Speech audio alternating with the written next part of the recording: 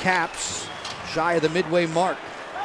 Backstrom on the drop. Ovechkin pulls the trigger. He scores! Alex Ovechkin, watch Oshie set it up into the middle of the ice. Using open ice. Backstrom, as we always see, the drop pass, and there's the rifle of the shot. Dillon crisscrossed in front of the goaltender Jones. No chance for him to pick it up. Look at Jones saying, What just happened? But because it's off the stick of the Great Eight, little stutter step and fire, he's